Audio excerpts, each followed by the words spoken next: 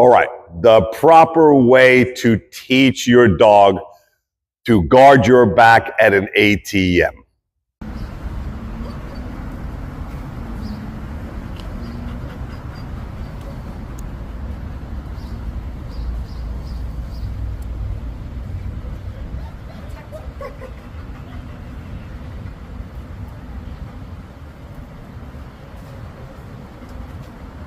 Because it's in public, when we tell the dog to guard and he turns and watches our back, it is quiet.